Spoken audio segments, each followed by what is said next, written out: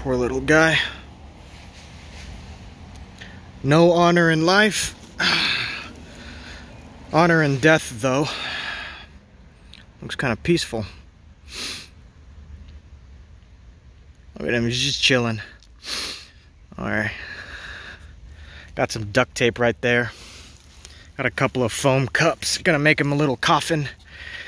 It's not the best deal, but I wasn't really anticipating this on my bike ride today. Whatever.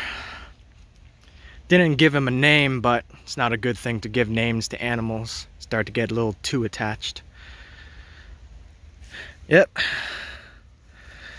Found this dude getting attacked by birds, other birds. I was confused what they were fighting over. I thought it was some roadkill, but uh, I think this little dude got into like a fight with some other birds. He got the uh, long end of the stick and uh, chased off the birds with my bike. And uh, saw this dude still alive uh, at that point. Put him on my flannel shirt and pulled over on the side of the road. Put my uh, my shade my shadow over him just chilling out. Calling like different animal shelters and stuff like that.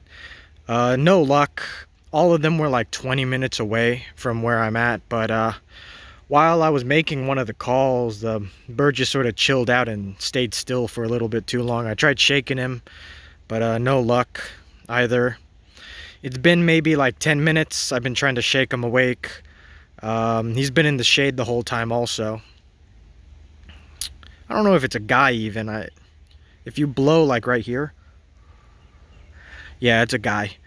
It's a guy bird. You can tell it's a guy bird because of um, if you blow right there, that's where like the nesting feathers are.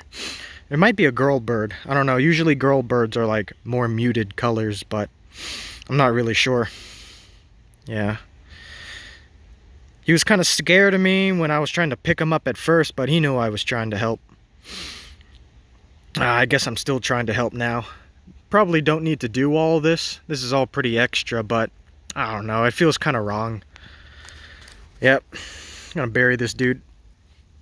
Uh, my good deed for the day.